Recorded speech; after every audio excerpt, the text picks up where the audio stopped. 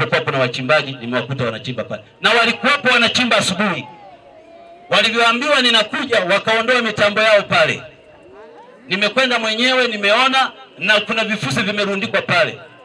Ninasema hili wala sipepesi macho, marufuku, marufuku, marufuku mtu yoyote kuchimba, awe mnene, awe mwembamba, awe mrefu, awe mfupi, awe mweusi kama doto, awe mweupe, marufuku, marufuku. Ni ziara ya waziri wa madini Doto Biteko katika mgodi wa madini ya bauxite katika kijiji cha Magamba wilayani Lushoto mkoani Tanga. Ziara yake ni kuingilia mgogoro uliodumu kwa takribani miaka 19 kati ya mwekezaji na kijiji cha Magamba. Swala la kuchimba bauxite hapa sasa hivi halipo, hilo ni moja. Swala la kuchimba bauxite halipo, ila elimu itakayofanywa, utafiti utakaofanywa na majibu yatakayotokana na utafiti ule ndio yatakayoleta majibu mwafaka kwa ajili ya Magamba na kwa ajili ya Tanzania. Mkuu wa mkoa wa Tanga Martin Shigela anatoa hofu wananchi wa kijiji cha Magamba, huku akisema mradi huu hauna madhara ya aina yoyote na utakuwa kichocheo cha maendeleo katika eneo hilo na taifa kwa ujumla. Lakini kazi yetu ya leo iliyotuleta ambayo Mheshimiwa Waziri umemleta kutoka huko alikotoka Dodoma kuja mpaka kwenye eneo letu hili la Magamba ni kuona madini haya ambayo wanatambua kwenye system yako madini ya bauxite yako Magamba, Lushoto, tunayaendelezaje? Na kama tuyaendelezi, ni kwa nini hatuyaendelezi?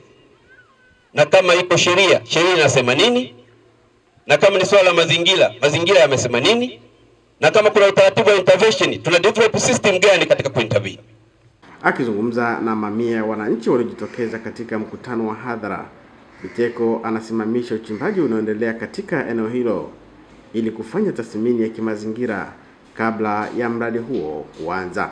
Na kwenye sekta ya madini, rais wetu amefanya kazi kubwa sana. Watanzania waligeuzwa shamba la bibi. Nimesimama hapa kwa ujasiri kuambieni mabadiliko aliyofanya Rais Magufuli kwenye madini hayanapigiwa mfano duniani na wala sio Afrika peke yake. Nataka niwaambieni, nchi nyingi zinatoka huko zinakotoka zinakuja kwetu kujifunza namna sekta ya madini inavyosimamiwa, na hiyo ndiyo kazi tulionayo sisi. Sasa hapa Magamba kuna jambo ambalo lazima niwaeleze, na mimi nataka niwaambie kwa haki ya Mungu bila kupepesa macho. Mimi ninasoma Biblia, ninasoma na Qur'ani pia. Kulu haki warau kana mula, ukiijua kweli itakuweka huru, nawe utakuwa huru kweli kweli. Ni muhimu tukajua ukweli.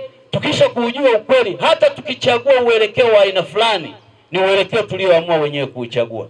Toka mgogoro huo umeanza, serikali imekosa zaidi ya shilingi bilioni moja nukta mbili na madini hayo kwa sasa yanatumika kuwekea vifusi barabarani, licha ya madini hayo kuwa na thamani kubwa katika kutengenezea vitu mbalimbali ikiwemo mabati.